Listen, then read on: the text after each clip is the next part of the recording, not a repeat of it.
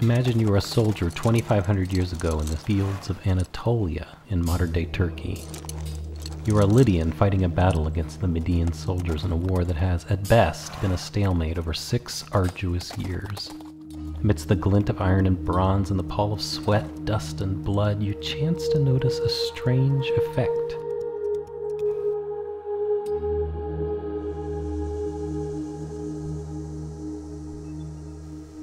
Though it is broad daylight, the clear blue sky seems curiously muted. Shadows take on a strange texture, the sun feels weak, and the air seems cooler than it had just a few hours ago. Perhaps it's the delirium of battle, but perhaps it's something else. Through the sound of clanging swords and chariots, you hear insects as they make their evening calls, birds fly home to roost, animals return for the night. Then, over the course of a short moment, the sun fades and day turns startlingly into night. The sky darkens, the brightest stars come out, and in every direction there is a mystifying twilight. Your eyes are drawn upward to a sight more strange than you could possibly have imagined. Where the sun was just moments before, there was a glowing eye in the sky at its center a hole of incomprehensible darkness. The battle fades from your consciousness, and you and those around you on both sides forget the fight and gape, awestruck at the eye of a god.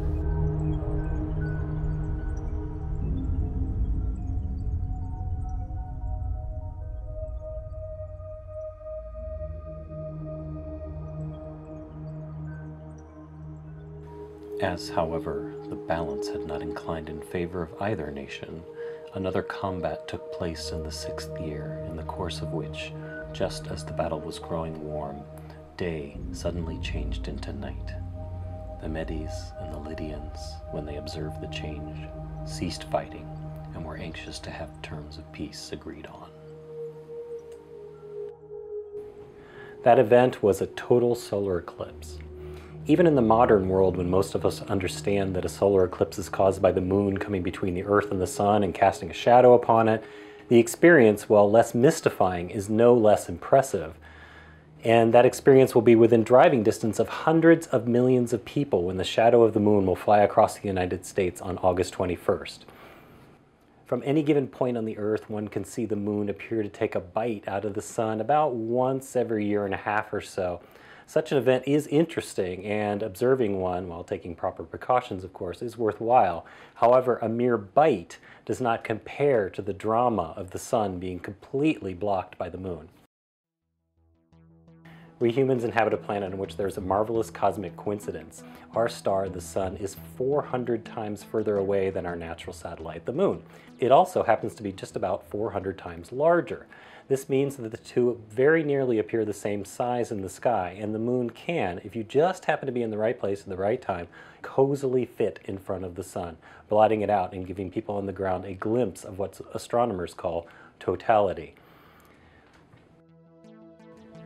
In 2017, that right place to see totality is along a 70 mile wide strip of water and land that runs from the Pacific to the Atlantic Oceans across the US states of Oregon, Idaho, Wyoming, Nebraska, Missouri, Illinois, Kentucky, Tennessee, and North and South Carolina.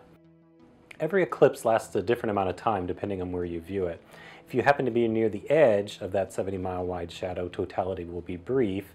Uh, but if you're set up in a spot along the middle of the path, totality will last longer than two minutes this time. Uh, nearer to the edge, totality will be shorter, but unless you're right at the edge, not by very much so it's not real critical exactly where you are in the middle. Uh, the spot on the Earth that will be in the shadow the longest will be 12 miles to the southeast of Carbondale, Illinois, uh, where totality will be 2 minutes and 40.2 seconds. The surface of the sun that we see in the sky regularly is called the photosphere. That's the thing we're most familiar with. It glows at a temperature of 5800 degrees Kelvin. The photosphere is so astonishingly bright compared to the other features of the sun that it is impossible, even if it could be done safely, to see them when it is in view. As the photosphere is slowly covered and the sun turns into a crescent, look at how the appearance of the shadows on the ground change. You can try making a simple pinhole projector, which is basically just a piece of cardboard or paper with small holes in it, and you will see images of the sun as tiny crescents. When those crescents become thin, this is a few minutes before totality, light on the ground may take on a strange flickering effect as the same atmospheric turbulence that causes stars to twinkle begins to warp the thin shaft of light from the sun. These are called shadow bands. Some eclipse fanatics hang white sheets or set up near blank white walls to see this subtle and really weird effect. Just before totality begins, tiny bits of the photosphere will peek through the valleys and troughs of the moon, giving a brief appearance of pinpricks of light known as Baily's beads. Then, day turns to night, the stars come out, there's twilight all around, and people go nuts. The sun takes on a completely alien appearance. The first thing you'll see is the corona, which is the glowing inner part of the solar wind. It's a mass of plasma electrons and heavier atoms and molecules that are drawn away from the sun by magnetic fields and given a push by the brilliant light of the sun. The corona is about as bright as the full moon and it looks really weird. Looking like a line of red laser pointer dots, the photosphere is made up of tongues of hydrogen plasma called prominences all around the sun will be a strange and unfamiliar sight in the middle of the day. The bright planets, Venus and Mercury, will, will be easily visible. You'll see stars during the day. The event will be so overwhelming that the perhaps two minutes of totality will seem to go by in an instant. Okay, um, one word about safety. People like me are always going out of the way to tell people don't stare at the sun during an eclipse. This somehow implies that there is something special, maybe weird eclipse rays, that makes staring at the sun a bad idea at that time in particular. The truth is this, it is never a good idea to stare at the sun. It's just a lot more tempting to do it during an eclipse. Seeing the photosphere and the partial phases of the eclipse requires eclipse glasses or telescopes specifically suited for solar observing. Many outlets will be selling eclipse glasses for the big date and be sure to get a pair or two so you don't have to share. Except during that brief moment of totality. And only then, absolutely do stare, gawk, gape, and thrill. Just don't miss it. Keep in mind that 100 million of your closest fellow eclipse chaser friends will be traveling towards the path of totality as well. It's uh, wise to plan ahead, know where you're going, be flexible, take weather into account. In general, the weather is likely to be clearer the further west you go. But whatever you do, get yourself into the path of totality. You will not regret it. It is an amazing experience.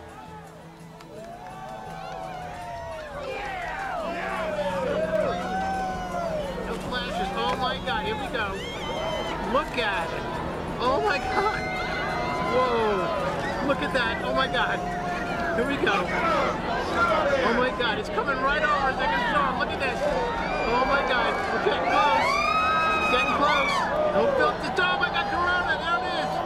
Diamond Valley Speed. Valley Speed Diamond Speed. Look at that. There it goes.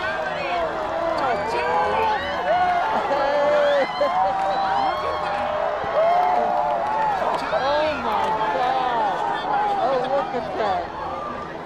Look at that! Oh, look at that!